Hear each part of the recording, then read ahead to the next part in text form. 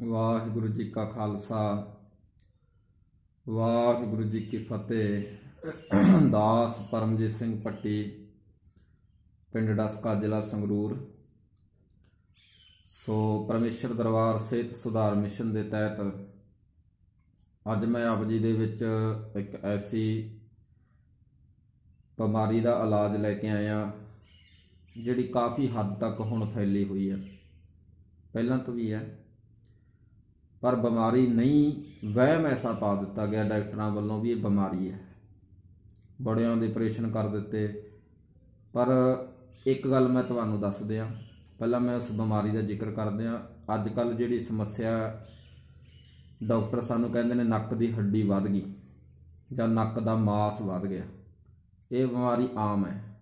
ਪਰ ਕਹਿੰਦੇ ਕਿਹਨੂੰ ਨੇ? ਉਹਨਾਂ ਨੂੰ, ਜਿਨ੍ਹਾਂ ਨੂੰ ਜ਼ਿਆਦਾ ਜ਼ੁਕਾਮ ਰਹਿੰਦਾ ਸਾਹ ਸਹੀ ਤਰੀਕੇ ਨਾਲ ਨਹੀਂ ਲੈ ਰਹੇ, ਛਿੱਕਾਂ ਜ਼ਿਆਦਾ ਆਉਂਦੀਆਂ ਨੇ, ਜ਼ਿਆਦੇ ਬਲਗਮ, ਜ਼ਿਆਦਾ ਖਾਂਸੀ ਆਉਂਦੀ ਹੈ। ਜਿਨ੍ਹਾਂ ਨੂੰ ਇਦਾਂ ਦੀਆਂ ਪ੍ਰੋਬਲਮਾਂ ਆਉਂਦੀਆਂ ਨੇ, ਉਹਨਾਂ ਨੂੰ ਡਾਕਟਰ ਕਹਿੰਦੇ ਆ ਵੀ ਤੁਹਾਡੇ ਨੱਕ ਦਾ ਮਾਸ ਵੱਧ ਗਿਆ ਜਾਂ ਹੱਡੀ ਵੱਧ ਗਈ। ਪਰ ਪਿਆਰਿਓ, ਇਹ ਜਿਹੜੀ ਸਾਡੀ ਕੁਦਰਤ ਦੀ ਬਾਡੀ ਬਣਾਈ ਹੈ ਨਾ ਰੱਬ ਨੇ, ਇਹ ਕੋਈ ਇਦਾਂ ਨਹੀਂ ਵੀ ਐਂ ਮਾਸ ਵਧਣ ਲੱਗ ਜਾਂਦੇ ਆ ਜਾਂ ਇੰਨੀ ਛੇਤੀ ਹੱਡੀਆਂ ਵਿੰਗੀਆਂ ਹੋ ਜਾਂਦੀਆਂ ਨੇ। ਇਹ ਸਾਨੂੰ ਇੱਕ ਭਲੇਖਾ ਪਾਇਆ ਜਾ ਰਿਹਾ ਸਾਡੇ ਤੋਂ ਪੈਸੇ ਵੱਢਣ ਦੀ ਖਾਤਰ, ਆਪਣੇ ਘਰ ਭਰਨ ਦੀ ਖਾਤਰ।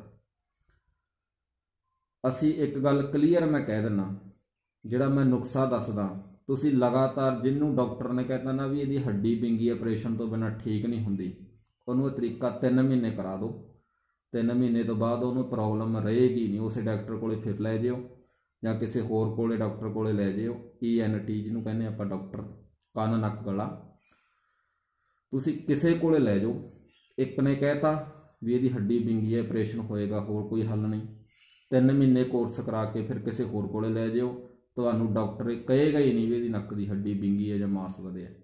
ਕਿਉਂਕਿ ਸਾਡਾ ਆਯੁਰਵੇਦ ਕਹਿੰਦਾ ਹੈ, ਜਦੋਂ ਸਮੈਲਿੰਗ ਬਿਲਕੁਲ ਸਹੀ ਹੋ ਗਈ ਸਾਡੇ ਨੱਕ ਦੀ, ਹਵਾ ਫਿਲਟਰ ਹੋ ਕੇ ਸਹੀ ਸਾਹ ਕਿਰਿਆ ਚੱਲ ਰਹੀ ਹੈ, ਕੋਈ ਜ਼ੁਕਾਮ, ਕੋਈ ਛਿੱਕ ਨਹੀਂ, ਕੋਈ ਖੁਸ਼ਕੀ ਨਹੀਂ ਅੰਦਰ। ਤਾਂ ਸਵਾਲ ਹੀ ਨਹੀਂ ਪੈਦਾ ਹੁੰਦਾ ਹੱਡੀ ਬਿੰਗੀ ਦਾ ਜਾਂ ਮਾਸ ਵਧਣ ਦਾ। ਤਾਂ ਹੁਣ ਮੈਂ ਉਹ ਤਰੀਕਾ ਦੱਸ ਦਿਆਂ ਤੁਹਾਨੂੰ। ਤਰੀਕਾ ਹੈਗਾ ਜੀ, ਰਾਤ ਨੂੰ ਪੈਣ ਲੱਗਿਆ, ਸਾਰਿਆਂ ਨਾਲੋਂ ਪਹਿਲਾਂ। ਰਾਤ ਨੂੰ ਪੈਣ ਲੱਗਿਆ ਦੇਸੀ ਗਾਂ ਦਾ ਘਿਓ। ਗਰਮ ਕਰ ਲਓ 5 ਡ੍ਰੌਪ ਇਧਰਲੇ ਨੱਕ ਵਿੱਚ ਪਾਓ 5 ਇਧਰ ਚ ਪੈ ਕੇ ਤੇ ਹਲਕਾ ਜਿਹਾ ਥੋੜਾ ਜਿਹਾ ਅੰਦਰ ਨੂੰ ਖਿੱਚੋ। ਰਾਤ ਨੂੰ ਪੈਣ ਲੱਗਿਆ 5 ਡ੍ਰੌਪ ਇੱਧਰ 5 ਡ੍ਰੌਪ ਇੱਧਰ ਦੇਸੀ ਗਾਂ ਦਾ ਘਿਓ ਗਰਮ ਕਰਕੇ ਪਾਓ ਤੇ ਥੋੜਾ ਜਿਹਾ ਅੰਦਰ ਨੂੰ ਖਿੱਚੋ। ਇਹ ਲਗਾਤਾਰ 3 ਮਹੀਨੇ ਕਰੋ। ਇਹਦੇ ਨਾਲ ਤੁਸੀਂ ਇੱਕ ਹੋਰ ਤਰੀਕਾ ਸਾਡੀਆਂ ਪਹਿਲੀਆਂ ਮਾਤਾਵਾਂ ਸਾਡੇ ਬਜ਼ੁਰਗ ਕਰਦੇ ਸੀ, ਅੱਜ ਨਹੀਂ ਕਰਦੇ। ਇੱਕ ਗਲਾਸ ਦੁੱਧ ਦੇ ਵਿੱਚ ਤੁਸੀਂ ਇੱਕ ਦਵਾਈ ਬਣਾ ਲਓ 100 ਗ੍ਰਾਮ ਲੈ ਲਓ ਬਦਾਮ 100 ਗ੍ਰਾਮ ਲੈ ਲਓ ਅਖਰੋਟ 100 ਗ੍ਰਾਮ ਲੈ ਲਓ ਖਸਖਸ ਔਰ 100 ਗ੍ਰਾਮ ਲੈ ਲਓ ਮਗਜ। ਇਹ ਤੁਸੀਂ ਜਿੰਨੀਆਂ ਚੀਜ਼ਾਂ ਨੇ ਖਸਖਸ ਹੋ ਗਈ, ਅਖਰੋਟ ਹੋ ਗਈ, ਬਦਾਮ ਹੋ ਗਏ ਔਰ ਕਾਜੂ ਹੋ ਗਏ ਤੇ ਮਗਜ। ਇਹ ਸਾਰੀਆਂ ਚੀਜ਼ਾਂ 100-100 ਗ੍ਰਾਮ ਲੈ ਕੇ ਤੁਸੀਂ ਇਹਨਾਂ ਨੂੰ ਚੰਗੀ ਤਰ੍ਹਾਂ ਪੀਸ ਲਓ। ਇੱਕ ਚਮਚਾ, ਇੱਕ ਗਲਾਸ ਦੁੱਧ ਦੇ ਵਿੱਚ ਚੰਗੀ ਤਰ੍ਹਾਂ ਉਬਾਲੋ ਤੇ ਸਵੇਰੇ ਖਾਲੀ ਪੇਟ, ਰਾਤ ਨੂੰ ਰੋਟੀ ਤੋਂ ਇੱਕ ਘੰਟਾ ਪਹਿਲਾਂ ਇਦਾਂ ਕਾੜ ਕੇ ਇੱਕ ਇੱਕ ਚਮਚਾ ਪਾ ਕੇ ਪੀਓ। 3 ਮਹੀਨੇ। ਔਰ 3 ਮਹੀਨੇ ਤੁਸੀਂ ਜਿਹੜਾ ਮੈਂ ਗਊ ਦੇ ਘਿਓ ਵਾਲਾ ਨੱਕ 'ਚ ਪਾਉਣ ਵਾਲਾ ਦੱਸਿਆ, ਇਹ ਕਰੋ।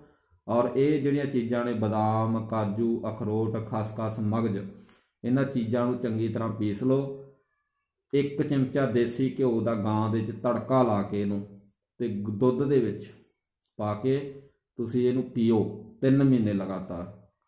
ਦੇਖਿਓ ਤੁਸੀਂ, ਜਿੰਨੀ ਮਰਜ਼ੀ ਡਾਕਟਰ ਨੇ ਕਹਤਾ ਹੱਡੀ ਬਿੰਗੀ ਹੈ ਮਾਸ ਵਧਿਆ ਬਿਲਕੁਲ ਸਹੀ ਹੋ ਜੂ, ਗਰੰਟੀ ਹੈ 3 ਮਹੀਨਿਆਂ ਦੇ ਵਿੱਚ। ਇਹ ਕੋਰਸ ਕਰੋ। ਹੋਰਾਂ ਨੂੰ ਵੀ ਦੱਸੋ। ਅੱਗੇ ਦੀ ਅੱਗੇ ਤੁਸੀਂ, ਅੱਗੇ ਦੀ ਅੱਗੇ ਇਲਾਜ ਦੱਸਿਆ ਕਰੋ ਯਾਰ। ਬਹੁਤ ਫਾਇਦਾ ਹੋਏਗਾ। ਤੁਹਾਡਾ ਸਭ ਦਾ ਧੰਨਵਾਦ। ਵਾਹਿਗੁਰੂ ਜੀ ਕਾ ਖਾਲਸਾ। ਵਾਹਿਗੁਰੂ ਜੀ ਕੀ ਫਤਿਹ।